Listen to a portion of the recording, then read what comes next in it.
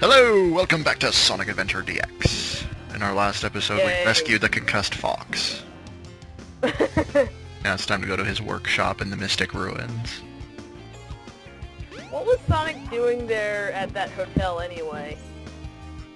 Bugger if I know. I'm guessing he's on some kind of a holiday.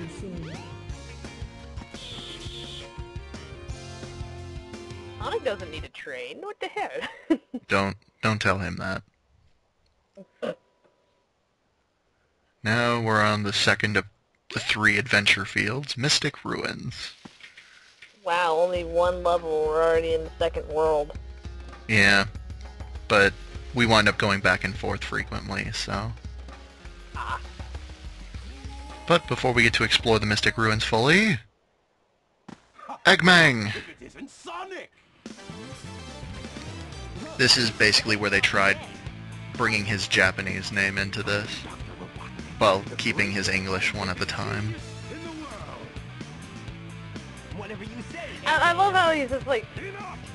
I've got big plans! he, he was like, like, oh, this is, you know, like basically just introducing himself as like, um, yes, I know who you are. I've been fighting you for the last how many years? Yeah. I am Dr. Robotnik, whatever you say, Eggman. This is like childish bickering between them two. Whatever you say, you big loser. Point one for Sonic. And this is the first Robotnik boss battle. Egg Hornet. Tell me how this looks like a hornet or an egg. I have no idea. Maybe if a hornet a hornet had sex with an egg, it might produce something that looks like this.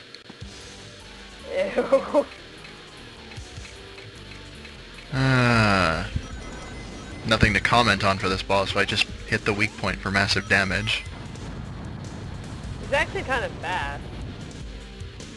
Mmm, All systems! Full power! What was he doing to the ground? he's trying to bore a hole in the ground that will cause the stage to collapse, killing Sonic instantly. You have to hit him within, I think, 5 or 10 seconds of him hitting the ground. But it, it's, it looks stupid is what it looks like. He's, he's dry humping the stage. You're not gonna get away with this.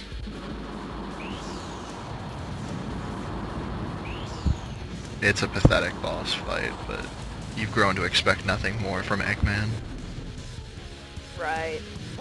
All systems! More of a comic foil than a villain. Three hits and he's done. Hooray for Sonic being awesome. Hey, I'll play with you some Is all is all the um boss fights a three hit boss fight? No. Uh, the first two were... I think the next boss fight takes... Uh, well, there's a mini boss, which is three hits. And then the next one, I think, is five. And I can't remember past that at this exact minute. Well, that wasn't so hard. I'm sort of stuck in this very awkward position. No! Wow. He has, like, mirrored sunglasses or something, because he didn't even have to turn around to get a perfect shot at the emerald. Time to eat! and Tails was just so uh wait, what? Tails, next time don't take things out of your pockets when the villain's in play. Oh no, isn't that the same monster I saw the other day? Maybe. Nope. It could be. Now we learn of Chaos's power. When he eats a Chaos Emerald, he becomes stronger. It's just as the stone tablets predicted! They predicted, Giant. yes.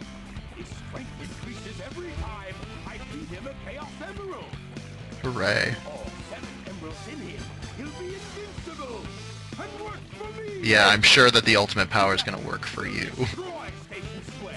Uh, how would he even think that? I mean, like, how many times has he tried doing something like this? Okay, I suck. How about we get something more powerful than me, and then I will somehow control it, so that way it will destroy the world for me. Uh, that's the old 300 working for you. The 300 IQ is working uh, overdrive today. Sonic! You can't let him get away with this, can What's this weed crap? Last time I checked, I was going to be the one doing all the work, so just stand there and be the comic foil you are, Tails. And now we get to advance towards Act 2. That looked a little awkward, like, uh... Wait, we can move around now? I was confuzzled at the time. This is a windstone. Basically, there are some levels that you can only open by either pushing a button or putting something in its correct place. This is to limit it so characters that don't actually belong in that stage can't go to them. Like, uh, Windy Valley, only three characters can go to it, but in order to be able to access it, you have to find that stone. But there are some characters that that stone will not appear for. Hmm, okay. Get the Chaos Emerald. which just happens to be conveniently located within yards of Tails' workshop. Tails, are you hiding something?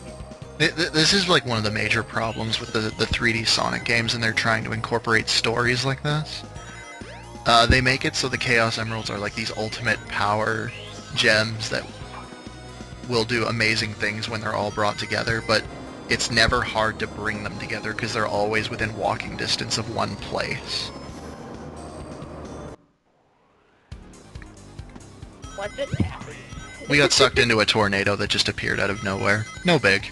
Happens every Friday. Okay, three. whatever. Jump as And there's a randomly placed trampoline here. Things make sense in this world. Don't they? And oh. just like what would happen if you ever get stuck in a real tornado, you want to go up. So you can get dropped here. And go back down, apparently. So, Yeah. that was a total waste of time! This entire level, except for this area, is basically a waste of time. This is this is the actual level, in my opinion, and it's the best the best part of the whole thing. What a jackass! He stole your ride! Yeah, he's a little bit of a tard. Me first! It kind of comes into relevance with um, when you're playing Tails' story at this point. The Tails missions, the main goal is to, like, you're playing the same levels as Sonic, but you're racing him, and you have to try getting to the end before he does. So I'm guessing he's just practicing.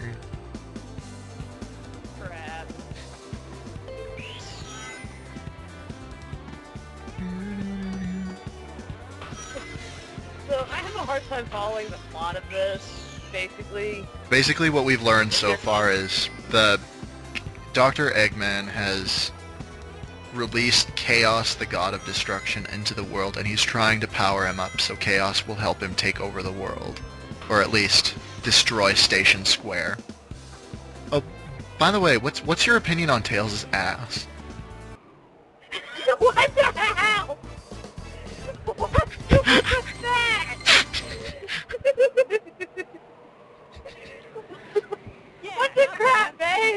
I'm I'm sorry, but I'm afraid we're out of time. We'll have to save all questions for part three. Adieu until we meet again, my friends. The train headed for Station Square will be departing soon.